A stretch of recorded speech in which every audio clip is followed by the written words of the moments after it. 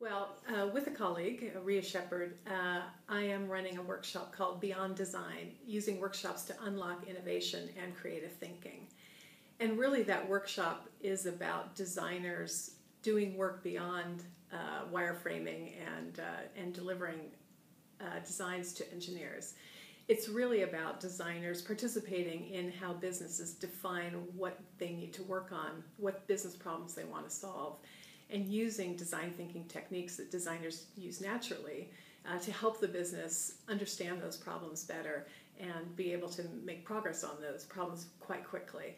Uh, and so by doing that, we can help uh, designers participate in a process that they might not always get to participate in the business at a more strategic level rather than a tactical level. Um, I really will be spending a lot of time on the unconference. And the thing I'm really looking forward to uh, by chairing the unconference is getting to meet all the people who are interested in presenting, really understanding the topics they uh, that are top of mind for them, and uh, being able to work with them to figure out who is going to present at the unconference.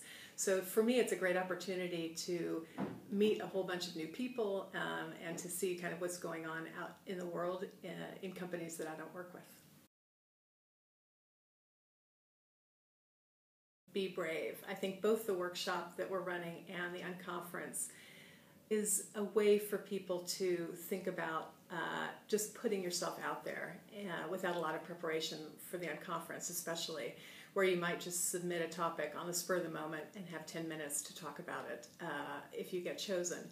Uh, and the workshops also really uh, illustrate a way for people to get out of their comfort zone and uh, do something in their business they don't usually do. So the theme there really is about kind of being brave uh, and getting outside the usual design box and doing something different.